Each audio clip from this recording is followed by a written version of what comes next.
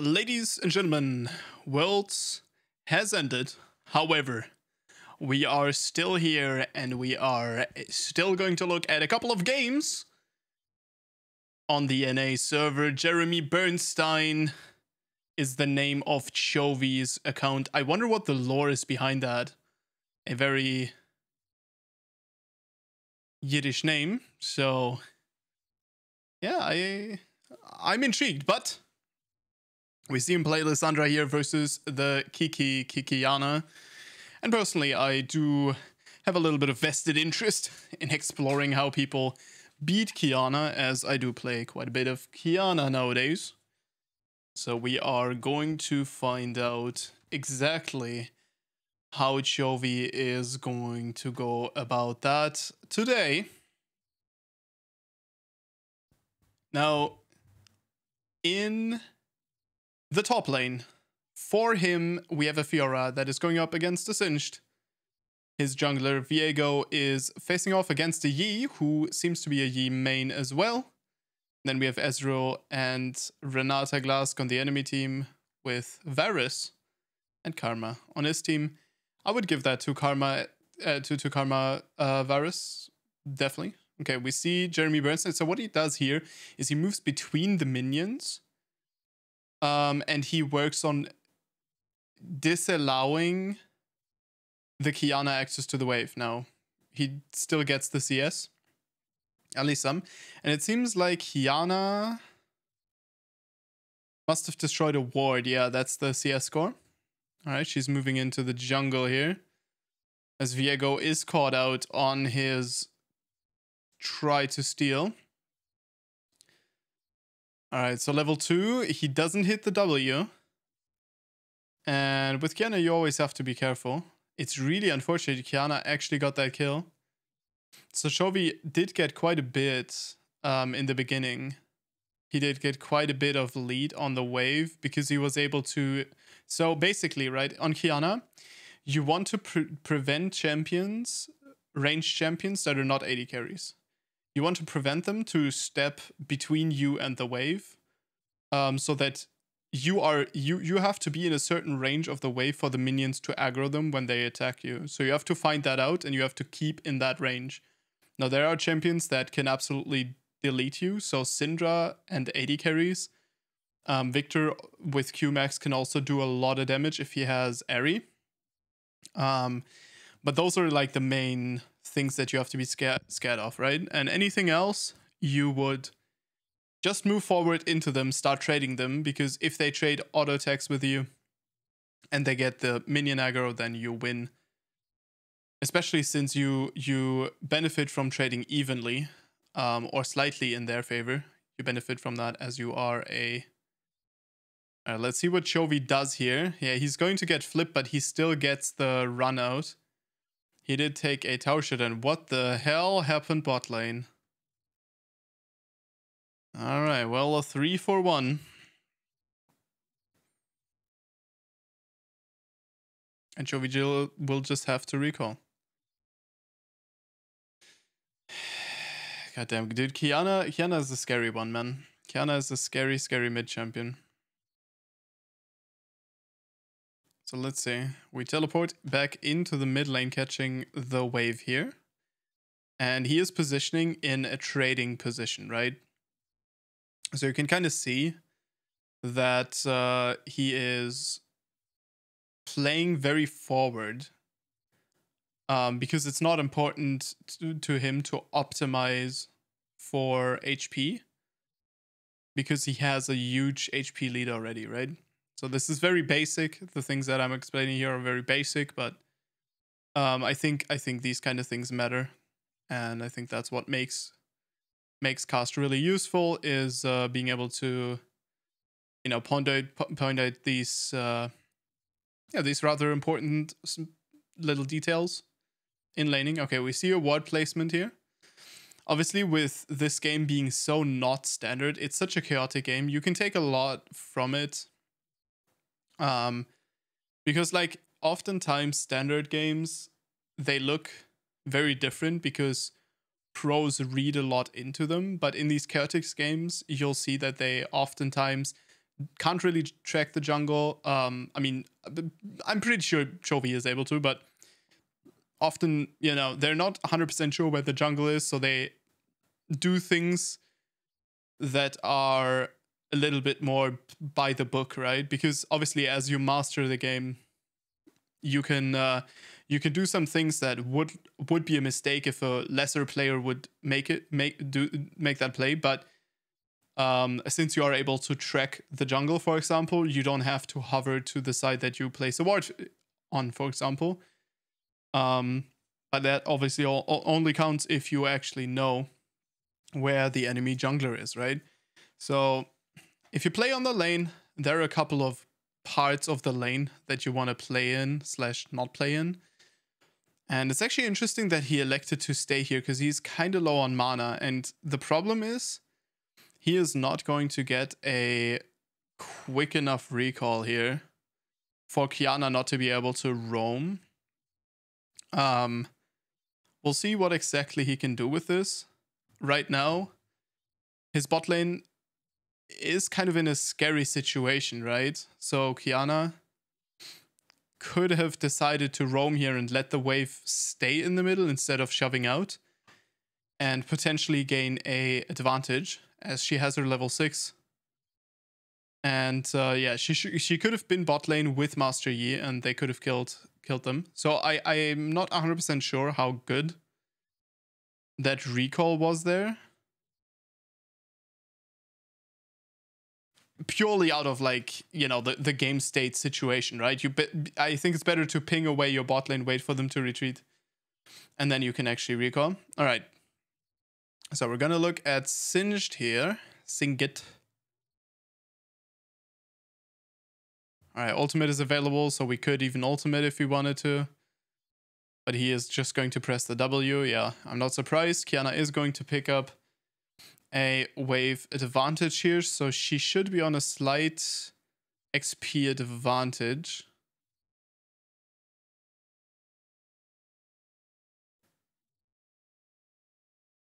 All right, Dragon picked up for the blue team as well. And it looks like the blue team has quite the sizable lead so far. And Qiyana is not that far behind.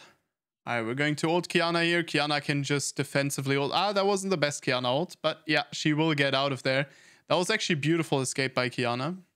I think she's going to trade though. Yeah, she does trade with the Viego, which is very good for her. Even though she loses the wave here, she gets a shutdown. So definitely not going to complain about that one, are we? And generally I would say that she has she has a pretty she has a pretty fortunate situation for herself here.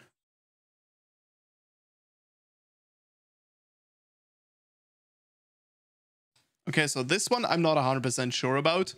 She is going Edge of Night first which uh, it doesn't give her the defensive boost of any of these items that she could get as mythics. It doesn't give her the ward clearing potential. It just gives her a one-time shield. Yeah, I mean, Lissandra, she does, uh, you know, she she does struggle with popping shields a little bit as she is quite low range. But I think if you can hit a claw onto Qiyana, at that point you're pretty uh, pretty good as the item kind of got invalidated. So yeah, it's rough. It's uh it's an interesting choice to go for that. We also see Qiyana go for the tier here. This is also always what you do versus matchups that you can't just like one tap. Um, because it's just it's just much safer and much more reliable to go for the uh, go for the tier. As you'll get more shove, you know you'll you'll be able to throw out your abilities many more times, and um, later on you get a very powerful item option as well. All right, we're gonna be pushing out and just roaming, looking at the map, right? Kind of just fogging. So that that's also something that you uh, can consider slash think about is that anytime you are in the fog of war, you're not on a ward, the enemy team has to ask themselves what is going on here. And so even though maybe you are not any going anywhere, every single time there is pings, there's question mark pings, and then there is a decision to be made by the enemy bot lane. Is she roaming here or is she not roaming here, right? so it's very, very favorable. And it's something that I, for example, I do always um, when when I play in high reloads is that I never stay in in the lane if I don't have a specific plan for the wave or I need to get XP or gold, right? So if I say if I say see the minion has still 100% HP, the win the waves just touched each other, then uh, I'm just going to go ahead and you know just let them sit for a second and wait. And sometimes, for example, sometimes your enemy throws all the spells in the wave because he thinks, oh, you roamed, right? And then you get to move in, and then you get to decide whether or not you handshake the he threw he threw spells at the wave, right? So you either handshake the push, or you throw the spells at him and gain an advantage. You do that two, three times, and you win the lane. Like it's uh, it's a very efficient strategy. Um, because obviously you you remove information and as long as you have a plan to follow it up you can usually just make sure that the enemy is kind of forced to do something that is odd for them or not in their plan. And you have planned for this. So you know generally a very very good idea. All right we're going to be teleporting back into the mid lane again. Everfrost has been acquired. The stopwatch is available too so you don't have to ult yourself either. And you know that Qiyana is not going to interact with you much. So you just want to kind of move and mirror Qiyana if you can, slash be ahead of her. Yeah. Gonna see a W onto the crab here, and we are passing around.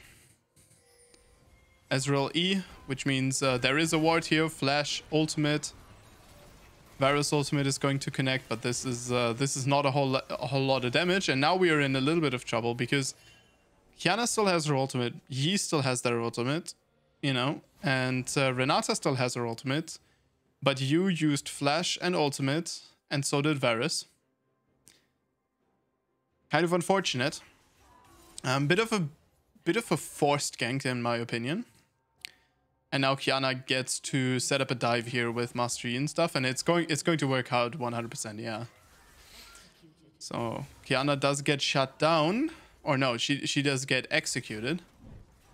So we're just going to kind of try to keep Singed away, but unfortunately Singed is there to keep me or keep keep Chovy uh, from knocking down the plates you know, if, if that was me, in my mind, that would be totally fine as top lane will probably be taken down here by the Fiora, right?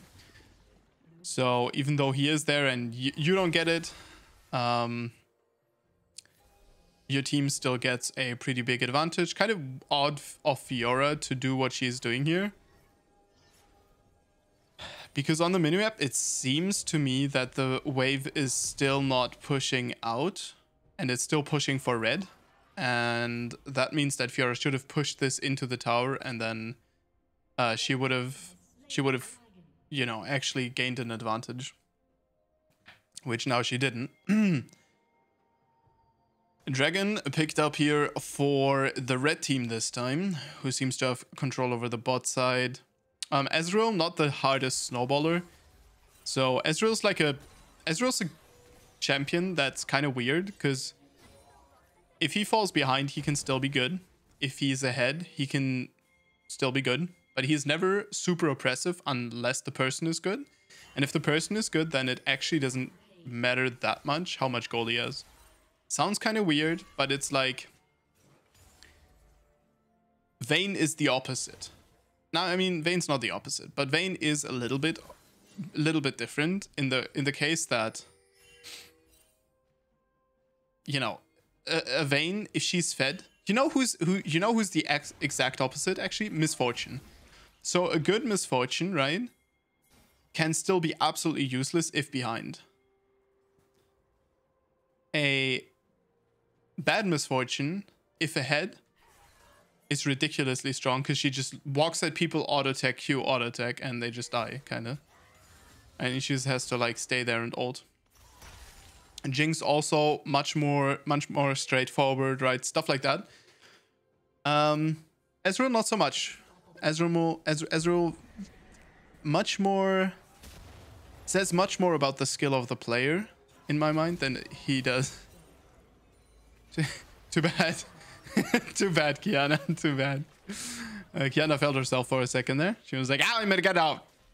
No, Chovy says, and presses W. Exhaust available here for Chovy as he moves down into the bot lane. I'm expecting... Yeah, this is a kill for Yi. Will he be able to kill him? Generally, I'm not expecting it because he does... I, I don't think he would have enough damage to kill Master Yi. Um, as that guy is still full life and... Yeah, I, I don't I don't I don't think that you do enough damage um, on a burst mage. But yeah, it is what it is. We're going to be taking down the turret here. And this is very solid. We have very good map awareness here of Chovy. As uh, he realizes exactly where to go and which lane is open, where he can do something. And his goal is obviously to not stay in the mid lane, as his bot lane is going to take over the map from the middle much more efficiently than from the bot lane. And someone like him, a champion like him, benefits from being in the side lane, as you can be a little bit more smoke and mirrors with your positioning on the map and so on and so forth. Shadow, Fla Shadow Fire, Shadow Flame. Hmm, Shadow Flame, I think. Picked up here for Chovy as um, he will now he will now have considerably more burst. I would I would expect it to be like 70% of Qiyana's HP. Um, if she doesn't block a spell with her with her shield. Alright, Singe just taken down. Just like that. Bada boom, bada bam. Obviously, he wasn't really able to stack his demonic, so very, very uh, little defense. And I mean, he's 0-6. It's a singed. We're not surprised. It doesn't make him useless. Not as useless as um, as you would think. Ezreal actually quite far behind in CS. If you look at the bot lane, he does have some kills, but actually quite far behind in CS. And uh, Lissandra's also pulling ahead of the Qiyana here in farm. And this should not happen in my mind, because Qiyana is actually very good at picking up farm and working the side lane. And a lot of the time, um, before the nerf, Qiyana used to be that champion that just constantly roams and doesn't kill, and just kills and doesn't farm. That is not really possible anymore. In order to reach a decent state in mid game, you really need to stay on top of your CSing. Um, that be, be that in the jungle or be that on other lanes. As kill onto Qiyana is being picked up here.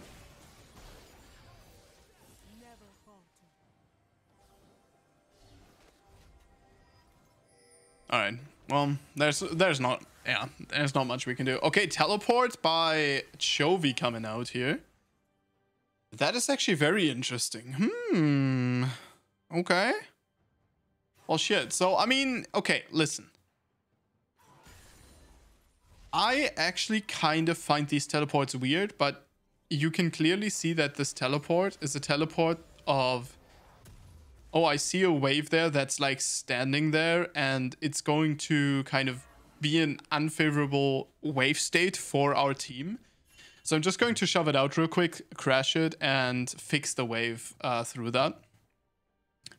I think wave states are something that is super underrated in Platinum and uh, kind of gets gets to be a thing in Diamond from what I've seen. Obviously, I haven't worked my way also through Diamond, but from what I've seen, and so you know it's it's a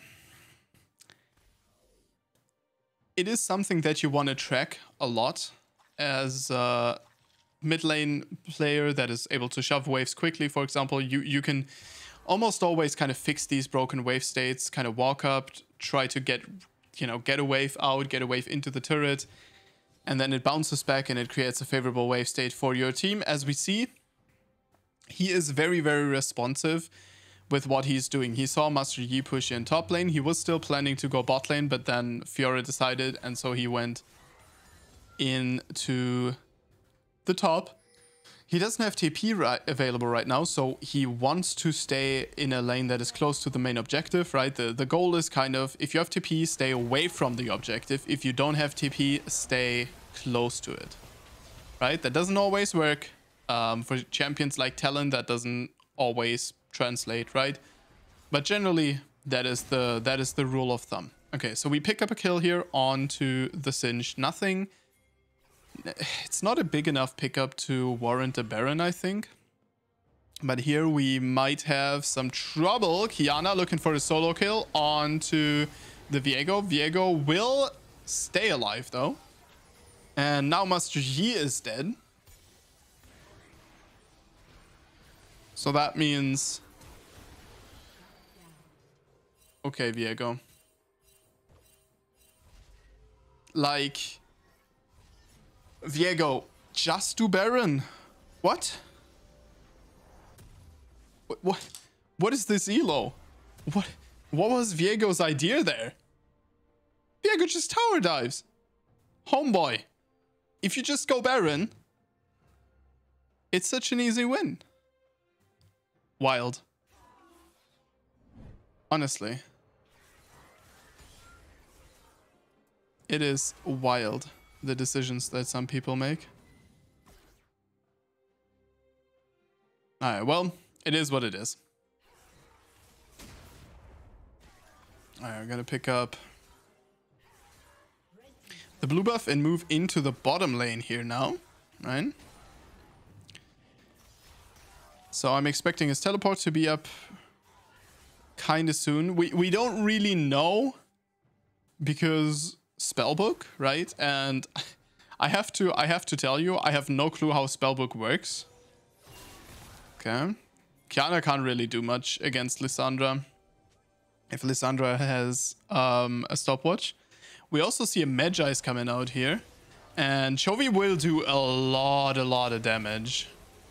So don't get that wrong. Like, Chovy's damage right now is out of this world. As he is building a Rabadon's death cap because he doesn't even he he seems to not even feel pressured enough to work on a Zhonya. He is just going for full damage. As I mean, he he's also kind of sitting back and his team is doing like most of the work to be honest. But we'll see. You know, we might still have some moments, but so far this has been a masterclass in just moving around the map, kind of looking at which waves are open, where can we get farm, what can we do.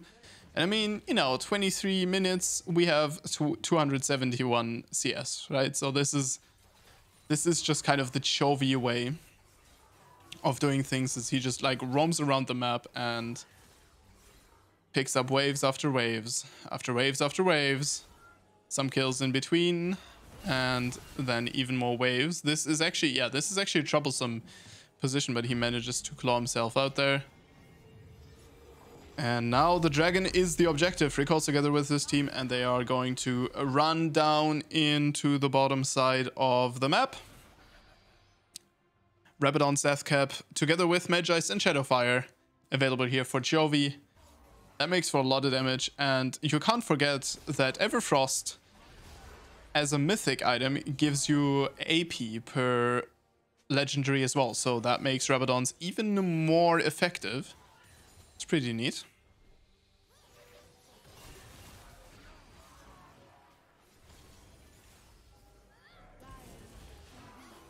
I have seen better Qiyana ults.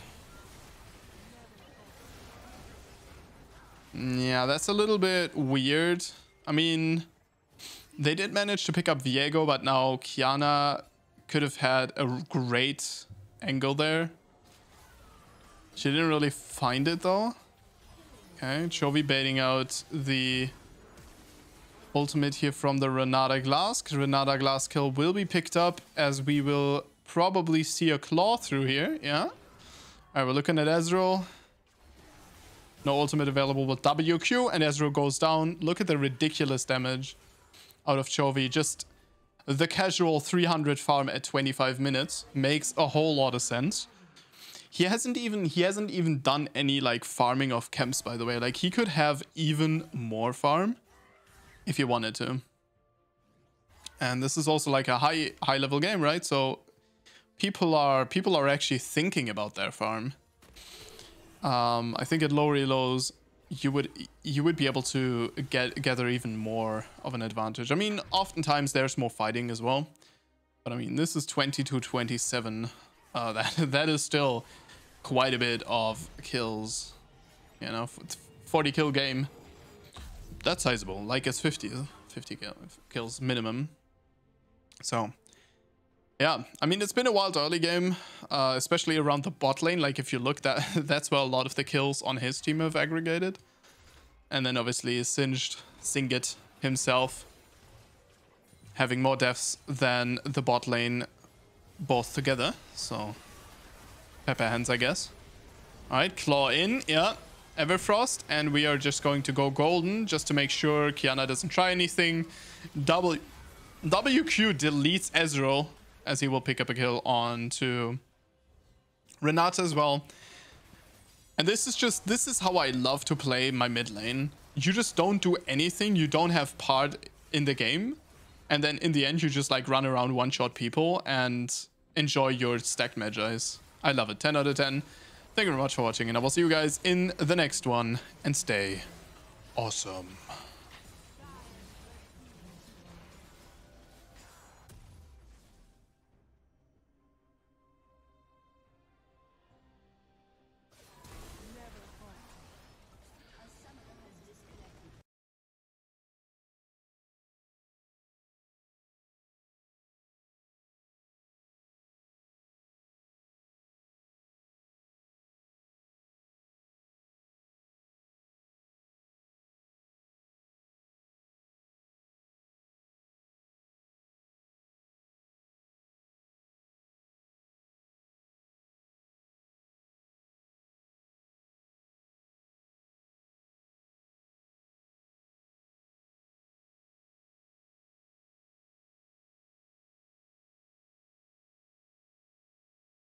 The skins for Worlds 2022 have been selected. Let's get into it and have a look. Also, this is kind of a given but